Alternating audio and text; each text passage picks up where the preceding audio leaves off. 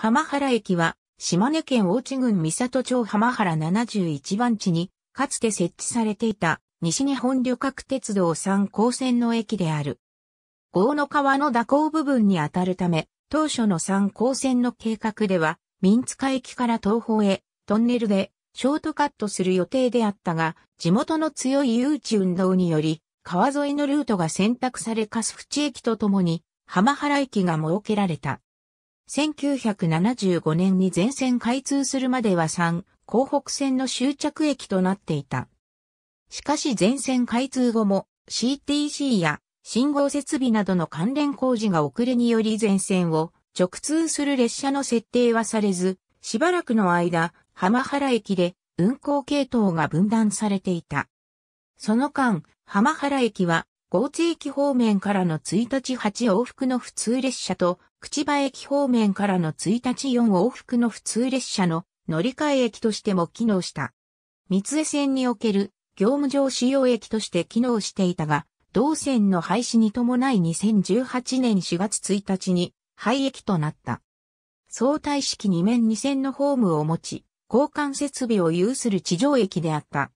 駅舎は構内の西側に置かれたが無人駅であり、駅舎側のホームが1番乗り場、古線橋を渡った先のホームが2番乗り場であった。なお、自動券売機等は設置されなかった。当駅で折り返す列車も設定されていた。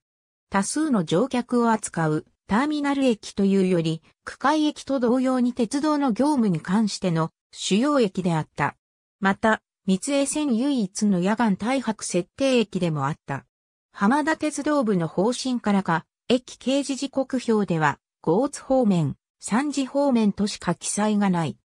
下りはそのまま記載したが、上りは、豪津駅の下り発車表に、岩見川本、豪津方面とあることや、JR お出かけネットの当駅からの方面表記で、岩見川本が入っていることから、岩見川本を加えて、上記の方面表記とした。両、ホームとも両方向の入線、発車が可能であり、発着番線も方向別に分けられておらず一定しなかった。なお、列車運転指令上では2番乗り場の方が1番線と逆順になっていた。列車交換が行われない場合は1番乗り場に発着した。浜原駅前バス停には以下の路線が乗り入れている。近年の1日平均乗車人員は以下の通りである。